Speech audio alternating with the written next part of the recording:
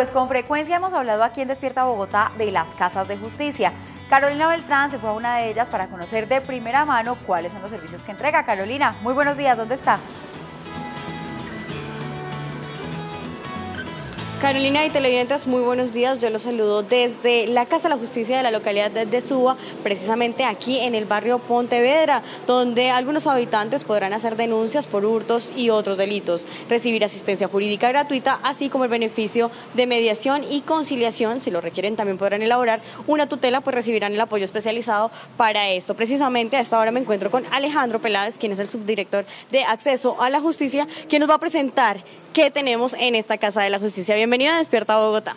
Hola, gracias. Pues estamos en la Casa de Justicia de, de Suba, de, que en Pontevedra, y aquí tenemos varios servicios. Aquí está el centro de recepción de información, pues es donde la gente llega y la pueden atender, puede contar a qué viene y aquí la dirigen. Es como cuando uno va a un hospital y dice sus síntomas y ahí lo mandan a un médico de este tipo, de este otro. Acá la gente la dirigen a donde tienen que ayudarla a resolver su problema. Acá también está la fiscalía, donde pueden poner denuncias si tienen por delitos que han cometido, está la unidad de mediación y conciliación, que es ahí, que es donde pueden resolver, pues les pueden ayudar a resolver sus conflictos que tienen por temas de arrendamientos o por temas de problemas en la familia o en general cualquier problema que tengan con otra persona. Acá los ayudan gente que tiene, como, tiene mucha experiencia en ese tema. ¿Cuántas personas más o menos hacen parte de esta Casa de la Justicia? ¿Cuántas personas también le colaboran a los habitantes de este sector? Pues de la Secretaría aquí hay más o menos unas cinco personas, pero aquí trabaja, esto es un sitio que aglomera varias entidades, entonces aquí hay jueces, fiscales, receptor de denuncias, defensoría, las personas de la unidad de mediación, aquí también atienden personas de la justicia comunitaria en algunos días, entonces varía dependiendo del día, pero más o menos yo creería que por ahí unas cerca de 30 personas están aquí atendiendo a la gente.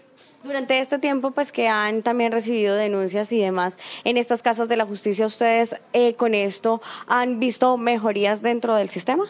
Sí, pues acá a la gente se le facilita el acceso a la justicia cuando tiene un delito. Entonces es más fácil venir aquí que tener que ir a palo quemado como les tocaba antes. Entonces a la gente le queda más fácil y eso ayuda a resolver los problemas de una manera más ágil y que no terminen convertidos en algo más grave, en un delito ya complicado, en algo así. Alejandro, en cuanto, en cuanto a violencia intrafamiliar que se ve bastante en diferentes localidades acá de la ciudad de Bogotá, en este punto donde estamos, ¿cómo los atienden? Aquí los atienden, los pueden atender de dos formas, ya dependiendo de cómo el profesional que los recibe vea el caso, pero está aquí está el ICF también, que atiende esos, problemas, y está también la unidad de mediación y conciliación que puede ayudar a resolver algunos problemas de, no, no, no, no ya cuando es violencia física, pero cuando hay conflictos en la familia, pueden venir aquí y desactivar el problema antes de que se convierta en algo más grave. Alejandro, durante la jornada de acceso a la justicia, ¿qué balance se tuvo? Pues fue, fue un balance positivo, fue mucho mejor de lo que nosotros esperábamos. Atendimos mucha más gente de la que teníamos planeada, de lo que se había hecho antes en otras iniciativas parecidas con la Nación. Fue un éxito en realidad. Bueno, acá ya llegamos al segundo piso de la Casa de la Justicia de la localidad de Suba. ¿Qué tenemos aquí, Alejandro?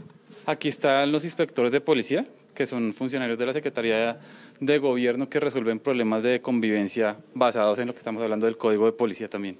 Bueno, Alejandro, ya para finalizar, entonces, ¿qué llamado podemos hacerle a los ciudadanos para que se acerquen, para que se acerquen, para que sigan viniendo a estas casas de justicia? Pues la idea de estas casas es que los ciudadanos vengan aquí y puedan resolver los problemas antes de que se conviertan en una cosa grave, en un delito o en una riña, en incluso en un homicidio. Entonces, si tienen algún problema, el que sea, pueden venir aquí y aquí les dan la información que necesitan, cómo se puede resolver. Esto no cuesta, es fácil, es rápido. Entonces, los invitamos a que se acerquen a su casa de justicia. Hay tres en Bogotá, en todos los rincones de Bogotá tenemos una casa de justicia. Entonces, vengan aquí y aquí les ayudamos a resolver los problemas. Bueno, Alejandro, muchísimas gracias. Pues ya lo han escuchado, así como lo dijo el subsecretario de Acceso a la Justicia. Esto es muy fácil y muy rápido para acceder a los diferentes trámites que se dan desde la Casa de Justicia, desde la localidad de Suba. Yo me despido para Despierta Bogotá, soy Carolina Beltrán.